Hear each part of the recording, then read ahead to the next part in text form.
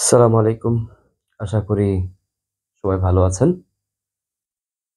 Politics, office politics, specifically যদি বলি office politics. আমরা যারা জব লাইফে আছি, প্রফেশনাল লাইফে আছি, তাদের জন্য একটা বিশাল মাথা ব্যথার কারণ। কিন্তু কোথাও আমি পড়েছিলাম খুব সুন্দর একটা কথা যদিও একটু ডিফারেন্ট ওয়ার্ড চুজ করা হয়েছিল। সেখানে লেখক বলছিল, "politics is like having sex" সবাই করে, কিন্তু বলতে কেউ কমফোর্টেবল ফিল করে না যে how they do it or how they accomplish it. কথা যখন প্রথম আমি শুনেছিলাম বা পড়েছিলাম তখন আমার কাছে একটা ভিন্ন ধরনের প্রশ্ন জেগেছিল। Exactly it's something like doing much delicate thing যেটা আমাদের জীবনের সাথে ওতপ্রোতভাবে জড়িত। বাট ইয়েট আমরা বলতে কমফোর্টেবল ফিল করি না। So what is politics? Politics বলার সাথে সাথেই আমাদের মাথার মধ্যে যেটা আসে একটা নেগেটিভ শব্দ। ওহ! পলিটিক্স। ও অনেক পলিটিক্স করে। সে অনেক পলিটিক্স করে। তারা অনেক পলিটিক্স করে। বাট পলিটিক্স শব্দটাকে যদি আক্ষরিক অর্থে নেই তাহলে হবে কোনো কিছু কাজ করিয়ে নেয়ার মতো যদি আপনি ইনফ্লুয়েন্সিয়াল হন বা কেউ ইনফ্লুয়েন্সিয়াল হয় বা কোনো কিছু করায় নেয়ার যে ব্যবস্থা সেটাকে পলিটিক্স বলে। আপনি খেয়াল করে দেখেন, আমরা পলিটিক্স কেন করি? কোনো কিছু পাওয়ার জন্যই তো। পলিটিক্সটা একটা নেগেটিভ শব্দ। এটা যদি আমরা মাথা থেকে বের করে দেই এবং যদি শুধু বলি যে পলিটিক্স হচ্ছে এমন একটা ফান্ডা বা এমন একটা অ্যাক্টিভিটি যেটা আমরা প্রয়োগ করি আমাদের কোনো কাজ, কোনো উদ্দেশ্য হাসিল করে নেওয়ার জন্য। তাহলে কি এক দৃষ্টিতে বা এক পয়েন্ট অফ ভিউ থেকে আমরা সবাই পলিটিশিয়ান না? অবশ্যই। যে সদ্যোজাত, সদ্য ভূমিষ্ঠ বাচ্চা সেও তার কান্নার আওয়াজ দিয়ে তার মাকে ডাকে কারণ তার খাবার সময় হয়েছে। সে তার কান্না দিয়ে তার মাকে তার দিকে অ্যাট্রাক্ট করতেছে। That's a kind of politics. আমার তিন বছর চার বছরের টডলার বাচ্চা ছেলে বা বাচ্চা মেয়ে ট্যান্ট্রাম ছুঁড়ে ঘ্যান, ঘ্যান করে। তার কিছু লাগবে।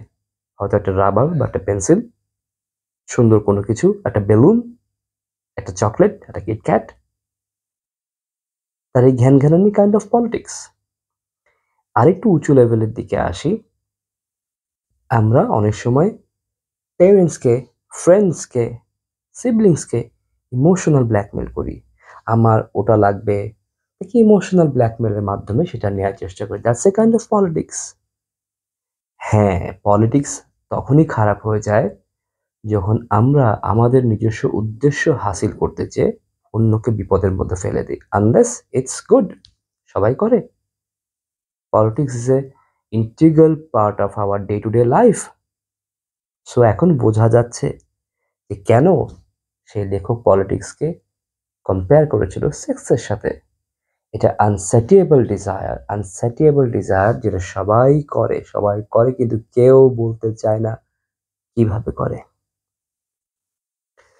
So come back to the point আমরা যদি প্রফেশনাল পলিটিক্সের কথা বলি ডেফিনিটলি আমার ইচ্ছা আছে কয়েকটা সিরিজে আমার এই কথাগুলো শেয়ার করা। আজকে যার প্রথম ভাগটা আমি চেষ্টা করব কিছু বোঝাতে। যেটার আমি নাম দিয়েছি ওয়ার্ম আপ বা observing from the side line. আমি স্পেসিফিক্যালি অফিস পলিটিক্সের ব্যাপারে কিছু শেয়ার করব। আমরা যারা প্রফেশনাল লাইফে আছি, যারা একটু ম্যাচিউরড লেভেলে, যারা মনে করেন অ্যাবাভ ফাইভ ইয়ার্স বা অ্যাবাভ থ্রি ইয়ার্স, আরও বেশি হলে আরও ভালো। তারা ভালো মতোই বুঝে গেছেন ভালো মতোই আমরা বুঝি যে প্রত্যেকটা জব আপনি যেন যখন কোনো জবে ঢুকতেছেন বা কোনো কিছুতে অংশগ্রহণ করছেন, you are a part of the play, you are a part of the politics. অফিসে যেটা হয়। You are a part of the politics বলতে বোঝাচ্ছি উদ্দেশ্য সাধনের খেলায় আপনিও একজন খেলোয়াড়। এখন আমাদের প্রফেশনাল লাইফ যত সামনের দিকে যাবে, আমাদেরকে এই জিনিসগুলো অনেক বেশি ফেস করতে হয়। কেন ফেস করতে হয়? অনেকে বলবে ফেস না করলে কি হয়? কিন্তু আমরা ধীরে ধীরে দেখব, আমি আমার এই সিরিজ লেকচারের সামনে যত আগাবো, আমরা বুঝতে পারব যে কেন politics is an inevitable part of our day to day life এবং কেন আমরা এটাকে টোটালি অ্যাভয়েড করতে পারি না? However we could manage it the best possible way so আজকে শুরু করি ওয়ার্ম আপ দিয়ে বা সাইড লাইনে দিয়ে। ধরেন, আপনি বা আমি একটা নতুন জবে জয়েন করেছি। নতুন জবে জয়েন করার সাথে সাথেই we are just like a একটা টিমের মধ্যে আমরা ঢুকেছি ফুটবল টিম যার হয়তো এগারো জন প্লেয়ার মাঠে আছে সাইড বেঞ্চে কয়েকজন রিজার্ভ প্লেয়ার আছে। সো যখন আমরা জয়েন করি, আমাদের যে প্রবেশন পিরিয়ড থাকে, সেই পিরিয়ডে আমরা কাইন্ড অফ রিজার্ভ প্লেয়ার সেই সময়টাকে আমাদেরকে খুব মূল্যবান হিসেবে ধরে নিতে হবে এবং সেখানে আমাদের ক্যারিয়ারের ফার্স্ট স্টেপটা পা দিতে হবে। তখন আমি সাইড লাইনে ভেতরে মাঠে খেলা হচ্ছে। খেলাটাকে যদি আমি অফিস পলিটিক্সে যদি কম্পেয়ার করি পলিটিক্যাল গেম চলছে সো সাইড লাইনে দাঁড়িয়ে দাঁড়িয়ে আমাকে তিনটা জিনিস ভালো মতো বুঝে নিতে হবে বা তিনটা জিনিসের জন্য নিজেকে প্রিপেয়ার করতে হবে। ফার্স্ট হচ্ছে, আমি কি চাই? আমি যে খেলায় অংশগ্রহণ করেছি, আমি যে জব করতে এসেছি, এখানে আমার চাওয়া কি? You have to be very clear about your need want and desire second হচ্ছে, যে প্লেয়ারগুলো খেলছে, তাদের ক্যাটাগরি বোঝা সাধারণত people are categorize in four categories সেটা আমি বলব। থার্ড হচ্ছে ইথিক্স নির্ধারণ করা। সো কি বললাম? এক হচ্ছে, আমি যতদিন প্রবেশনারি পিরিয়ডে আছি, তিন মাস বা ছয় মাস সাইড লাইনে আছি, এই তিনটা জিনিস আমি খুব ভালো করে রপ্ত করে নিব। আমি কি চাই? আমি যাদের কাছ থেকে চাই, তারা কোন ক্যাটাগরি পড়ে, কোন ক্যাটাগরি মানুষ, এবং আমার গেমের ইথিক্স কি হবে? So coming to the first point আমি কি চাই? অনেকে আমরা চাকরি করি একটা ভালো পে চেকের জন্য। অনেকেই কাজ করি যে না পে চেকটা অ্যাভারেজ হলে চলবে অফিসের এনভায়রনমেন্ট খুব ভালো হতে হবে, না বস খুব ভালো হতে হবে, না কলিগ সার্কেল ভালো হতে হবে, না আদার ফ্যাসিলিটিসগুলো ভালো হতে হবে, না আমার বাসার খুব কাছাকাছি আছে, আমি কমিউট করতে খুব সুবিধা হয় বিশেষ করে আমাদের মতো দেশে সো না আমি কমিউনিকেশনটা খুব আরাম চাই সো এখানে আপনাকে পারসেপশনটা ক্লিয়ার থাকতে হবে যে আপনি কি চান what is your need want and desire এবং এটা আপনাকে লিখতে হবে যে আমি আউট অফ দিস জব বা এখানে চাকরি করতে গিয়ে আমার এই এই এই এই চাওয়া। You have to literally write it down নয়তো আপনি ভুলে যাবেন। আপনাকে আলাদা একটা ডায়েরি করতে হবে যার মধ্যে আপনি লিখে রাখবেন যে আমি কি চাই আমার প্রফেশনাল লাইফ থেকে। আপনি গোল সেট করেন। দেন আপনাকে এটার মধ্যে, এটা কি আপনার উইশ না গোল যেগুলো আপনি লিখলেন সেগুলোর মধ্যে কতগুলি উইশ আর কতগুলি ডিটারমাইন্ড গোল সেটা ঠিক করতে হবে। উইশ হচ্ছে এমন একটা কন্ডিশন যেটা আপনি দিবা স্বপ্নের মতো দেখবেন, এটা আপনাকে একটা টেম্পোরারি মেন্টাল বুস্ট আপ দিবে ডোপামিন দিবে। আমি আই উইশ এটা হয়ে যেত আই উইশ ওটা হতো আই উইশ আমার বস খুব ভালো হয়ে যেত, যেটা আদতে কখনো হয় না। আই উইশ আমার ভাইটা ভালো হতো, বোনটা ভালো হতো আই উইশ আমার বাবা মা আমাকে ভালো করে বুঝতো। উইশ উইশ উইশ হচ্ছে প্রোক্রাস্টিনেশনের একটা মুদ্রার অপিট। সো যতক্ষণ আপনি আই উইশ আই উইশ করতে থাকবেন, আপনার কোনো কাজই কিন্তু হবে না এবং আপনি ভিতরে ভিতরে ডিপ্রেসড হয়ে যাবেন, হতাশ হয়ে যাবেন। একটা সময় মনে হবে যে, না, আমি খুব বেশি আনপ্রোডাক্টিভ এবং আমার এই আনপ্রোডাক্টিভনেস দিয়ে আমার সামনে আগানো মুশকিল। সো আপনাকে আগে বুঝতে হবে যেটা আপনি চাচ্ছেন, সেটা কি আপনার দিবা স্বপ্ন নাকি ডিটারমাইন্ড গোল গোল যদি কোনো কিছু হয়, তাহলে আপনি কংক্রিটলি সেটা সেট করে নেন। দেন আপনি যেটা সেকেন্ড পয়েন্ট আমি বলেছিলাম, মানুষ চিনেন। সাধারণত মানুষ চার ক্যাটাগরির হয়ে থাকে। একটা হচ্ছে ডিম উইট বা নির্বোধ, নিরেট বোকা। আরেকটা হচ্ছে সোশিওপ্যাথ যারা কেবল নিজেরটা বুঝে, অন্য গোল্লায় যাক। আরেকটা হচ্ছে মাটিয়া বা শহীদ। সে নিজের ক্ষতি সাধন করে অন্যের কাজ করবে। যেটা কথা বলে না, হিন্দিতে একটা প্রবাদ আছে, বেগানা সাদিমে আবদুল্লাহ দিওয়ানা বা ঘরের খেয়ে বনের মোস্তারণ, যেটা আমরা বাংলায় বলি। আর ফোর্থ ক্যাটাগরিটা হচ্ছে উইনার বা যারা জিততে পছন্দ করে।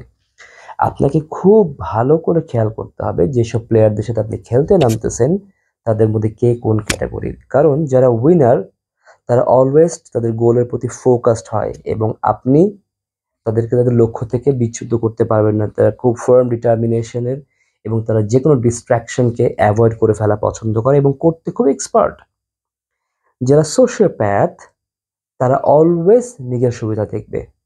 তারা আপনাকে সময়, মুখে মিষ্টি মিষ্টি কথা বলবে, তাদের উদ্দেশ্য সাধনের জন্য।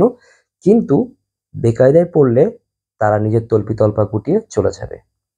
দুধের মাছি যেটাকে বলা হয় বা বসন্তের কোকিল যেটাকে বলা হয়। So you have to identify যে কে উইনার কে সোশিওপ্যাথ শহীদ, মার্টিয়ার, এরা হচ্ছে নিজের ভিতরে কষ্ট করে মরবে কিন্তু মুখ ফুটে কিছু বলবে না। কষ্ট সহ্য করবে। আপনার জীবনে কি এমন মানুষ আসেনি? এমন বন্ধু বান্ধব বা এমন কলিগ বা এমন সিবলিংস বা এমন কাজিন আসেনি? যারা সমস্ত লোট গাধার মতো নিজের উপরে নেয়।